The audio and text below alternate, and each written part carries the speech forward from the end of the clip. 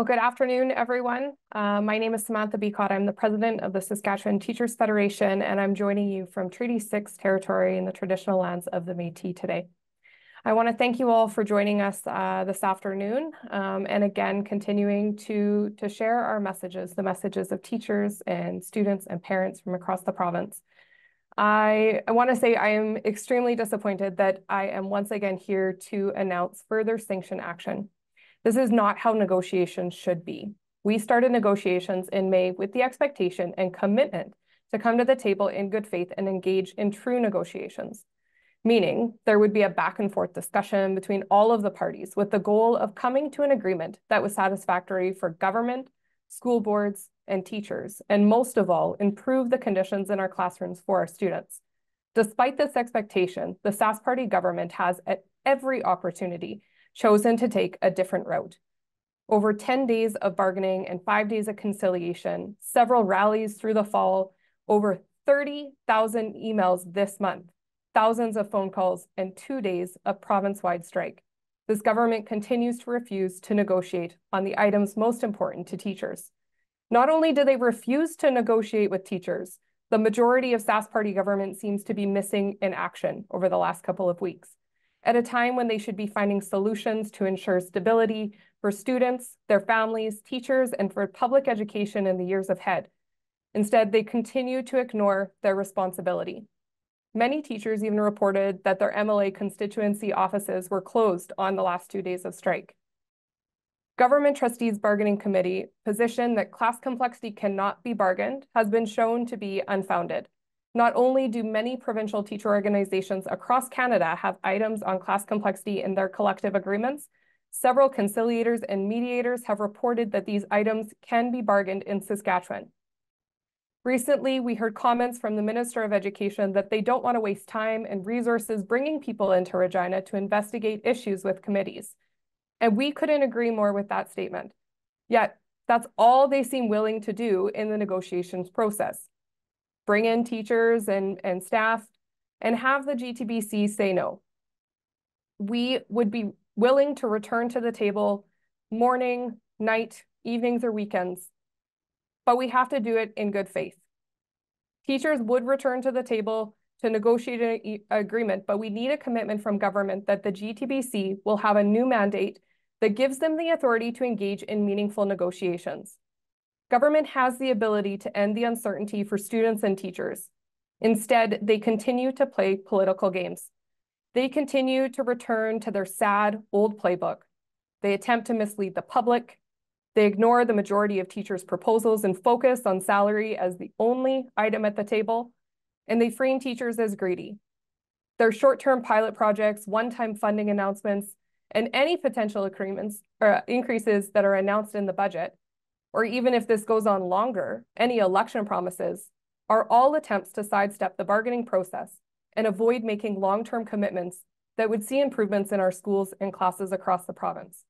We don't have to look too far back in history of this government to see that these promises to education quickly disappear or are even clawed back from divisions after an election. We will not accept any empty promises.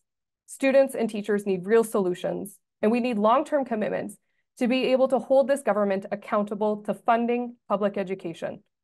So today we are announcing a full day rotating strike taking place on Thursday, February 1st in the following areas.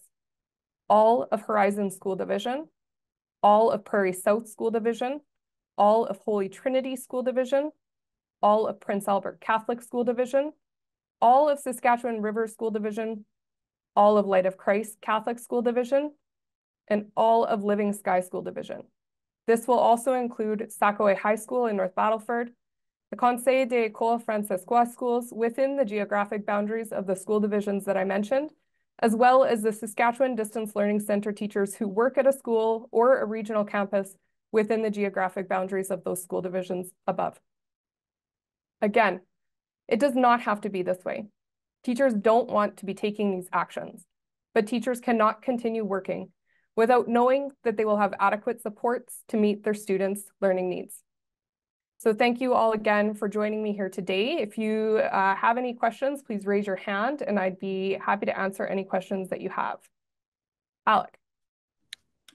Hi, Samantha. Uh, so first thing, can you just explain what exactly a rotating strike is and what that'll look like on the day? Uh, well, it's it. I guess it is a strike similar to a province-wide strike, but rotating in the sense that it only impacts uh, specific school divisions. So actions on those days will be similar to what we saw during our provincial-wide strikes, um, but they are just in specific locations around the province. Is there any appetite or anticipation that we're going to have another announcement of job action tomorrow, and why specifically were those divisions chosen? Uh, well, any action or any further action requires the 48 hours notice that uh, we are legislated to provide. Um, so if there isn't another announcement, you'll you'll be provided with that notice time. Um, and in terms of these, we have uh, a long-term plan and a short-term plan. Our goal is to get a negotiated agreement. Like I said, we do not want to be taking these actions, but government refuses to engage in negotiations in any way. It's not even engaging in good faith negotiations. They're not negotiating at all. Um, and so we we just we are taking the only option we have left um, on behalf of teachers. But but sorry to, to be clear, why not have a province wide strike again? Why not have an indefinite strike? The one days and one days and now one day. Um, it seems like this is a smaller scope than the two previous rounds of strike that we've had in the province. So why have a limited scope? Why not expand it on the third opportunity to strike? Uh, well, we take many different factors into consideration when we're making these decisions. Uh, we and so this is just where we are at in terms of our plan. I wouldn't say that it is a scale back. Uh, while it's not affecting everyone across the province, that doesn't mean that there won't be days in the future that do impact others. Um, but like I said, these are the actions that we're announcing for Thursday. Okay. That's all for me right now. Thank you. Thanks, Alec. Keenan? Hi, Samantha. Um, your other job action to date hasn't uh, hasn't really worked. It hasn't gotten both sides back in a room. I, I just wonder what about this announcement tells you that that this will change that. Uh, well, like I said, we are hopeful that the government starts listening, um, and and so these actions are just further actions to apply pressure to government to let them know that uh, all of the proposals that we have put forward in bargaining are important and they need to be addressed uh, with long-term commitments from government. Uh, we have also seen a lot of support from members of the public in our last two days of action, and we hope to see those continue uh, in future days. Uh, like I said, this is government's responsibility. They need to be properly funding education. And because they haven't carried through on those promises of funding education and ensuring all Saskatchewan students uh, receive the, the supports that they need and are able to benefit from the economic prosperity that we're seeing in Saskatchewan. Uh, we are we're pushing to make sure that that we get an investment not just this year but in future years to come. Thank you. Thanks. Aishwarya. Um, is there another round, a round two of rotating strikes coming that could include uh, Saskatoon and Regina? Oh, well, there could be. Like I said, our goal is to get an agreement that uh, sees improvements to teachers' compensation and sees protections around teachers' working conditions and improvements uh, to our students' learning conditions. So we are, are taking this action today. That doesn't um, mean that there are, are not future actions planned in the future. But like I said, our goal is to get that agreement. We can stop any of these disruptions at any point.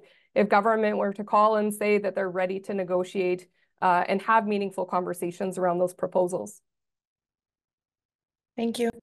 Thanks. Uh, Keenan? My bad, did not uh, lower my hand from before. Oh. Thanks. Andrew? Hey, uh, yeah, just to kind of follow up, um, is there a reason why these school divisions were were picked specifically, uh, you know, to be on this first round of, of strikes here? Uh, so like I said, there's lots of factors that go into making these decisions. Um, and, and so we have lots of things that we consider when we look at uh, potential areas to, uh, to impose rotating strikes. But our goal in the end is to get back to the table. We want government there. Uh, we want to be having these conversations. Uh, and so these are just the school divisions that we've selected at the time. Is there a reason it was ta- it was decided to you know implement these rotating strikes rather than say cut extracurriculars or do something like that as your next uh, step in job actions here? Yeah, absolutely. Like I said, we've considered all of the possible actions that we could take right from another provincial wide strike as we've seen in the past, uh, extending those days or right to the the withdrawal of uh, voluntary services. And this is the action that we've chosen uh, in, in the hopes that government starts taking this seriously and starts coming to the table ready to negotiate around all of the proposals that teachers have brought forward uh, as a priority.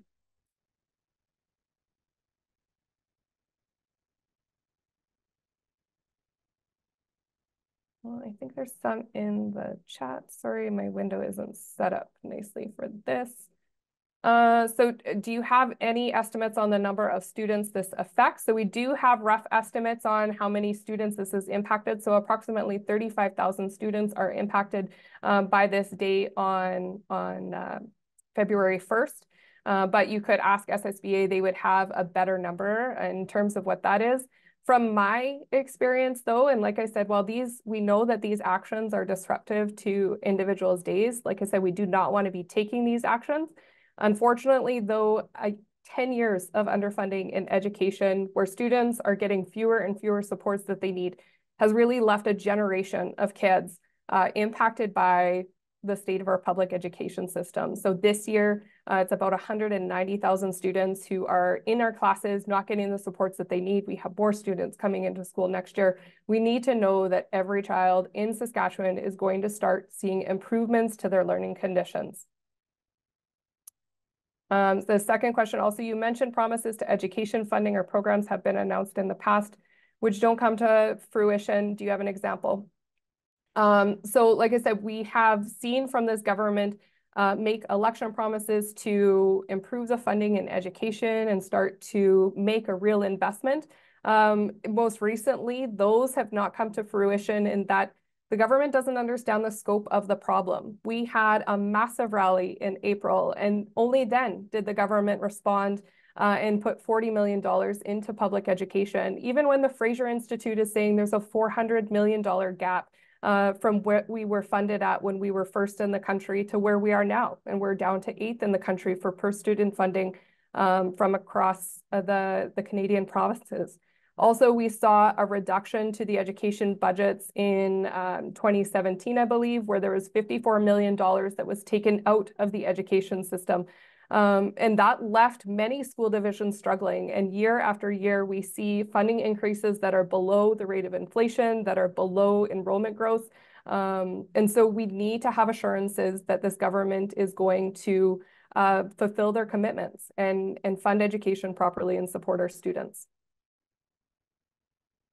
Josh? Yeah, is uh, do you have a, a, kind of even a ballpark figure of what the numbers of uh, STF members this uh, action on uh, February 1st represent, or the percentage of the STF? So there's about 3,000 STF members that this action will impact, and so that would be uh, roughly 30% off the top of my head uh, of our teachers across the province. Um, and and this is more of a, a, blue sky question, I guess. But uh, you know, I this if this keeps going the way it's going in some form or fashion, and we get to budget day, and everything that you know your membership is seeking, uh, or, or enough of it is wrapped up, uh, you know, in a, in a bow under that that tree. Is there a world where you know the the union would move on from this if if the government decides to uh, you know take a lot of measures which which you would find satisfying uh, in the in the next budget?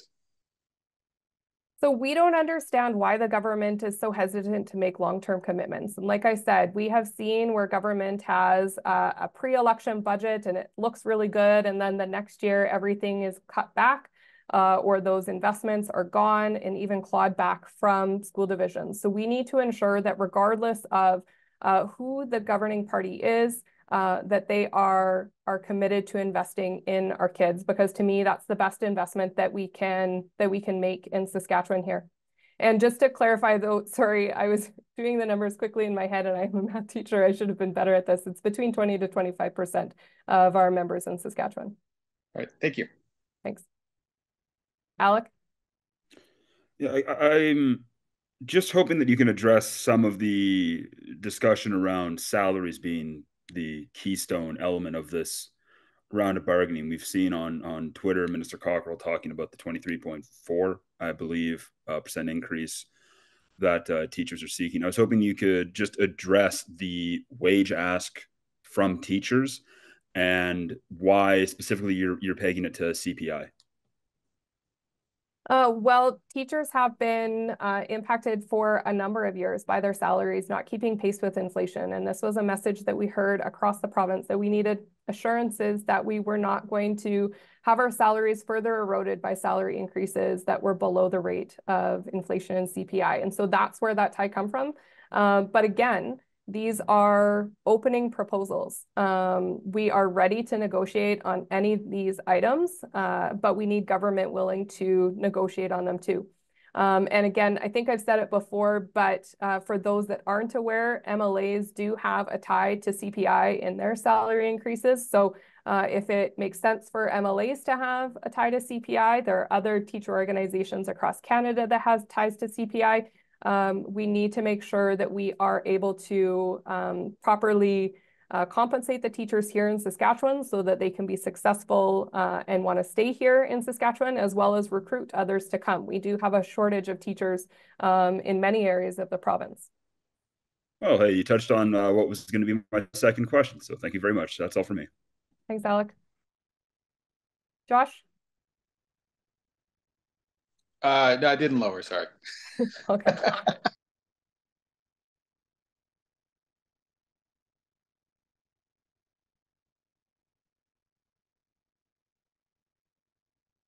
Okay, so not seeing any other hands up. I am uh, always happy to answer questions after the fact. If something uh, comes to mind or you want clarity on anything, please feel free to reach out to the Federation and we'll um, be able to provide you with more information or be able to uh, provide a time where I can answer additional questions if there are any. But again, just wanting to thank everyone for your support.